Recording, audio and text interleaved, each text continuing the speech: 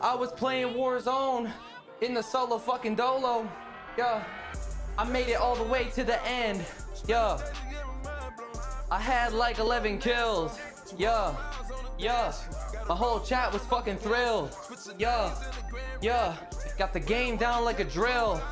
I was showing up my skill.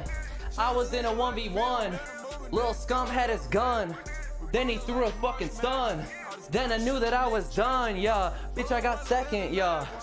I was down for days. Little Aydan's on the bars. Yeah, he's motherfucking slaying, yeah.